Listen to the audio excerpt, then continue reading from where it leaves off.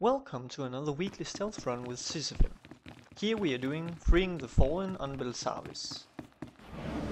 This is one of the simpler and faster quests as the Sith Assassin to complete.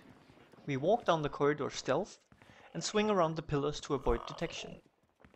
Here you can use Mind Trap to get on the pillar and jump over to the right, however it's much easier just to use Blackout. As we are nearing the Jedi, make sure to get around the pillar without being detected by the last group.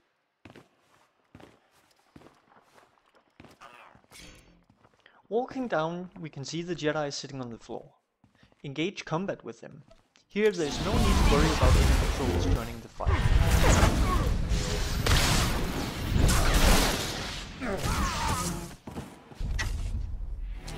After you have killed the Jedi, Run to the control at the end of the corridor to release the prisoners.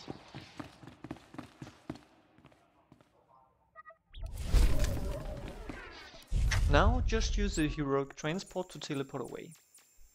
Thank you for watching, please leave a comment below tell me what you think and remember to subscribe for more content like this.